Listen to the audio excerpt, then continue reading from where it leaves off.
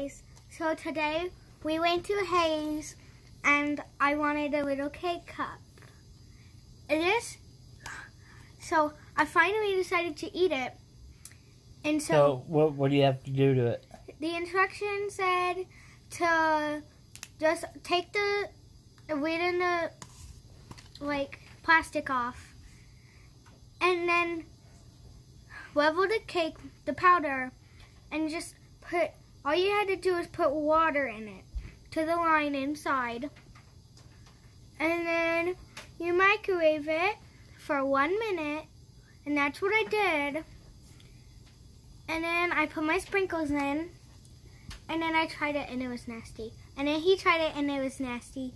And then I smelled it and it smelled horrible. What did it taste like? It tastes like sweet eggs, and Yeah. it's nasty. So basically, it looked like a unicorn pooped in there.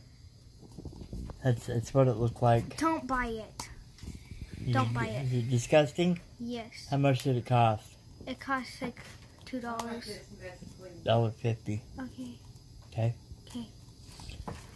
So, rating one out of ten. What would you rate it?